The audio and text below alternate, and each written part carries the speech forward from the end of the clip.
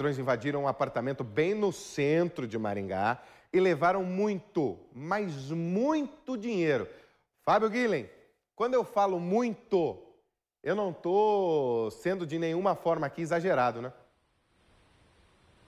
Não, Rivaroli. Ao todo, foram 150 mil reais em espécie que esses ladrões conseguiram levar do apartamento.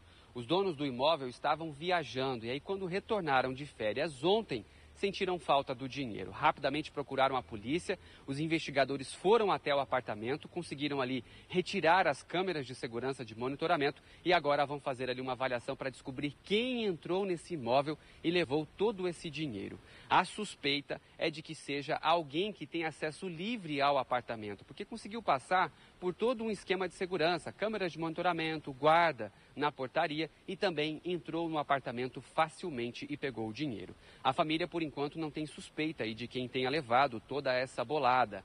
O dinheiro seria de um imóvel que os familiares tinham vendido recentemente e acharam por bem guardar dentro do apartamento. Esse imóvel, Rivaroli, fica numa área nobre de Maringá, no novo centro, na Avenida Horácio Racanelo Filho.